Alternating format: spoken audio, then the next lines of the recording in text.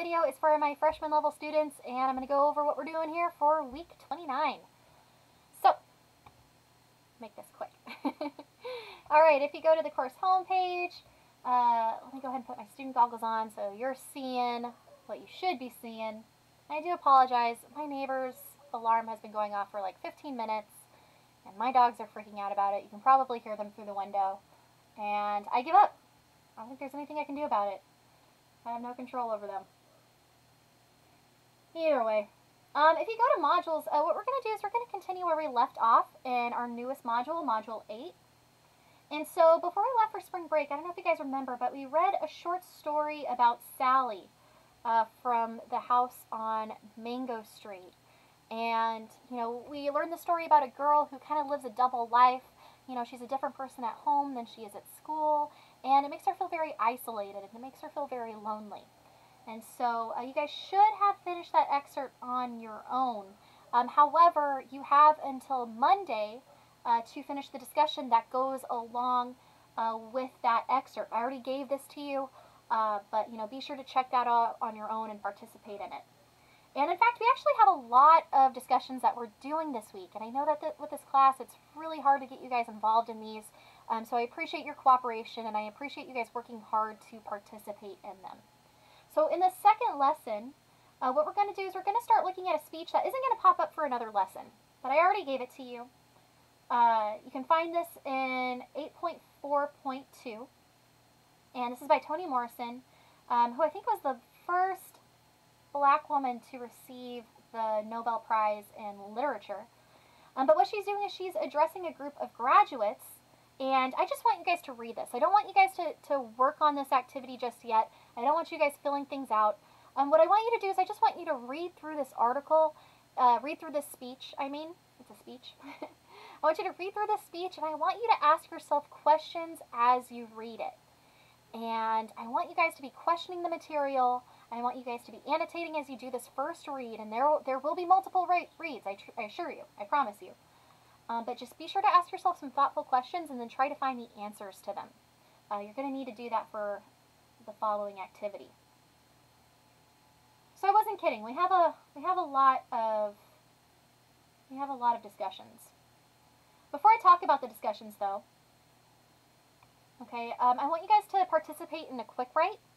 And so with this, you have the option to pick whatever prompt you like best. You can either write a story about a time when somebody's kindness impacted you, or you can write a story about a time where you showed someone else kindness. And if you can't think of an example of either of these two situations, then you're going to have to practice your best creative writing and make something up. I'm not going to know any better. I'm not going to do a background check on you. Uh, just make it convincing and make it good. okay? And so, um, you know, you'll do that the way that you usually do. You'll click Start Assignment. A text box will open up at the bottom of the page. You'll type it in there, you'll hit submit, and you'll be good to go. You might see some confetti dance around the page. Not going to let me because I didn't actually type anything, but whatever.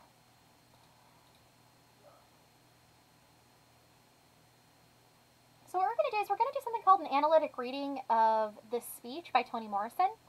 And so you can click, you can find the speech right here uh, if you if you click this link.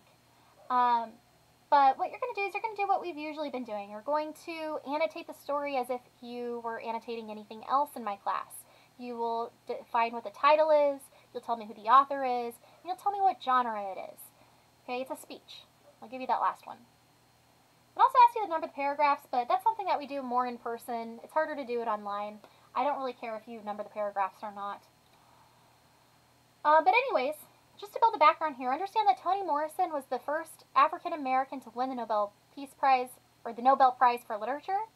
And she grew up during the Great Depression. She grew up during a difficult time, and she also faced segregation and racism. Now, this is a speech, okay? And this is a speech that she delivered to graduates uh, back in 1979 uh, in the middle of the women's rights movement um, at an all-women's college. So it's really important that when you listen to a speech, that you are thoughtful and you are mindful to the audience the speech is directed towards. Okay? Uh, ask yourselves questions as you read this. And what I want you guys to do is using the comment feature, I want you guys to be sure to write those questions in the margin so you can come back to them later for our discussion activity. Okay? Once you identify a question, you need to find the answer to that question.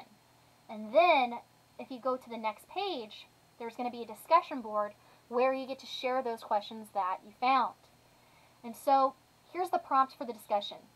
Identify a question that you had while you were reading, and then find the answer to that question, okay? Don't just find the question and leave it a question. Okay, you need to search for the answer here. And then what I want you to do is I want you to post your question and your answer. Post a comment on the discussion board that explains that question and that answer. Okay? And then, of course, when you're done, no discussion is complete without you responding to at least two classmates. So be sure you do that. Looks like one person already responded. That's cool. All right. And then, I'm not kidding. There's a there's a third discussion post this week. It's I know it's quite a bit, um, but you know these shouldn't take you more than five minutes each to respond to. This is 15 minutes of work that you guys can do easily. Uh, but you know this kind of relates to the topic that we're looking at in this unit. And so you can pick. We have three prompts here you can choose from. Just pick one. Don't do all of them unless you really want to. Who am I to stop you from writing? Uh, but answer one of these questions. So what caused me to have an emotional reaction? Because remember, this unit we're focusing on pathos. We're focusing on how writers use uh, the appeal to emotion in order to make their writing more meaningful and more impactful. And so, did you have any emotions rise when you were reading Toni Morrison's speech? Um, if so, explain them to me.